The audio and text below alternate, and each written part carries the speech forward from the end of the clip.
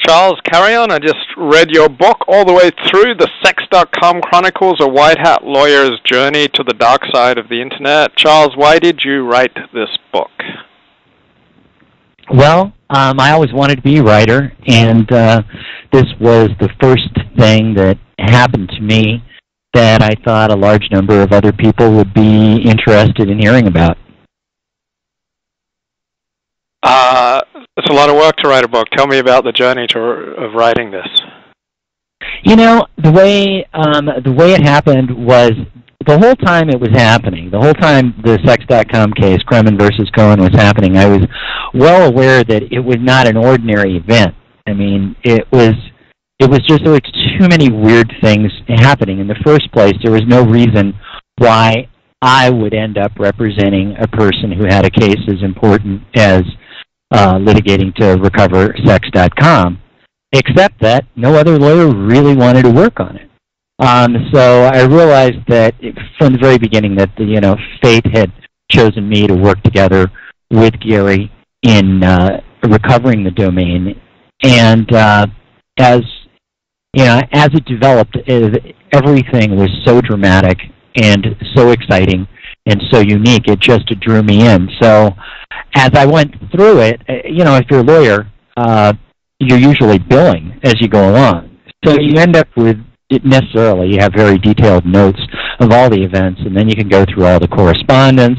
And uh, when it came time to start writing the book, uh, it was kind of as a result of of the fact that my my partnership with Gary did not work out, and I found myself uh, basically fired um, about two months after I had won the case, and uh, so then I ended up uh, litigating with Gary, and every time I had to work on my case, I had to think about it, and it wasn't particularly pleasant. I found myself on the road a lot, uh, traveling to court hearings and depositions in which I was litigating against my former partner to get my share of the deal, and uh, I would, uh, you know, I always had my dictation machine along, and so I would uh, just dictate my recollections of the events.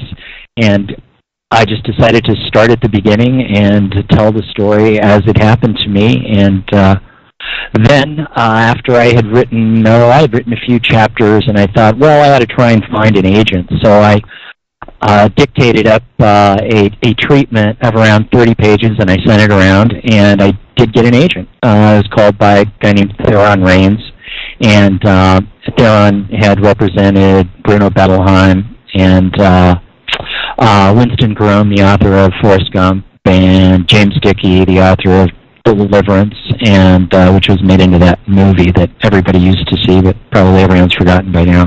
No, and uh, yeah, fantastic, fantastic. So I was thrilled. Um, we hit it off. He was very encouraging, and I decided to go ahead and um, write what turned out to be the first 36 chapters um, and see if uh, Theron could give me a book contract, which he was pretty optimistic about. Uh, but after writing 36 chapters, I sent it to him, and he sent it around, got a nice stack of great rejection letters, and uh, and he called it the best book he couldn't sell. So I laid off of it for a while, uh, and uh, I think about probably about a year and a half, maybe even two years elapsed, and uh, and then I it, that was like another two years during which I was litigating with Gary. It took three years to resolve the case with Gary, and we settled. And at that point, um, I had more time on my hands. I had more money in my bank account, um, and I still had this huge experience that I needed to process. So uh, that's when I went back to it, and I I wrote the end of the book. The end of the book was much harder to write uh, than than the beginning, uh, but uh, it uh, I think it turned out well. I'm, I'm happy with it. Which part of the end of the book? Starting where? Well, um, it, the first 36 chapters takes you through uh, something called uh, the last the 36th chapter, I believe, is called Becoming the Enemy. And it was at that point where uh, I took that phrase from Sun Tzu, and he calls becoming the enemy basically putting yourself in the shoes of the enemy to realize what things look like from their side. And so that chapter was the point when I put myself in, in Steve Cohen's position and realized that if he had any sense, he would know that he was going to lose. Um, and so at that point, you know, from the dynamics of, of how a drama is written, um, eh, that that's sort of you've you've hit the peak and that the the action is fully charged up, and now it's going to start unloading and and carry you towards the climax. Um, all the way to the climax, getting to the climax of the case, which is November 27, 2000, when Judge Ware says there's nothing left to try, gives Gary the domain, um, and um, hits Cohen with a uh, an order that is so hard that Cohen just becomes a fugitive and basically never comes to court. All that part was really easy to write. What was really hard to write was, uh, and I must have written three times as much material as I used, uh, was um, from that climactic point, which was victory from Gary's point of view and from my point of view as well, um, until uh, ha- basically having my my career as a as a pornographer unravel, and uh, within, within about two months, and then spending the next three years litigating with Gary, uh, trying to get uh, what had been uh, promised to me. I felt had been promised to me in uh, in the agreement that we'd signed back in 1999.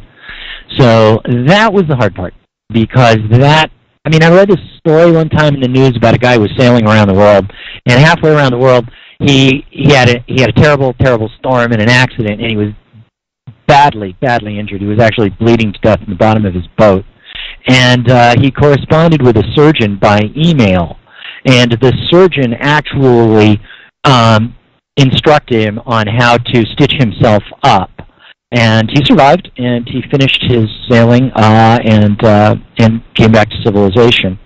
And I really felt that in some sense that writing the book for me was that it, was, it felt like that. I would get up in the morning and I would have my coffee and I would go down to uh, Bloomsbury Books in Ashland, Oregon, and sit on the back porch and I'd try and write another chapter. And uh, and it just it was like doing surgery on myself. But ultimately, it was successful. I did survive and uh, I think the book uh, is is healing be, because of that, and healing for anyone. Anyone and everyone does go through a trauma uh, if you live long enough. I'm sure everyone goes through a trauma of betrayal, of frustration, of having everything that they thought would turn out one way turn out the other way, and then they have to work their way through it. How many hours did you put into this? Do you think? Oh, I I would say very likely around two two thousand to three thousand hours. I would say. Yeah, it feels like it feels like two work two years worth of legal work, and I I usually billed around fifteen sixteen hundred hours a year. So, so uh, yeah, it feels like felt like about two years worth of, of concentrated work. But, uh, and did anyone help you with it? Um, uh, the uh, you know, aside from uh, Kim in uh, Medford who transcribed it, um, not really too much. Uh, uh, Theron's encouragement was invaluable. That was sort of the the shout out from somebody who I knew knew how to judge good writing. Um, my daughter Maria uh, went through it and uh, gave me some important criticisms. Uh, she helped me to uh, to make, uh, I think, the one disgusting scene in the book uh, not disgusting. I think that was important. Uh, she gave me a little feedback, and uh, um, and then my daughter Anna had also uh, given me feedback uh, during the earlier part of the book. She read through parts of it, and uh, so my daughters, and then of course my wife was always uh, cheering me on, uh, like "Finish it, dude," kind of like that. and and has writing this book changed you? It definitely did because now I'm an author. Uh, it, I always wanted to be from the time I was a little kid. And I, I started to read when I was four years old. I was an early reader. And the first book I read was uh, The Treasure of the Sierra Madre, which I think I mentioned in the uh, in the mm-hmm. Sex.com Chronicles. And uh, and I just remember from you know my earliest readerhood that I always thought it was the greatest thing that anyone could do would be to bring you into their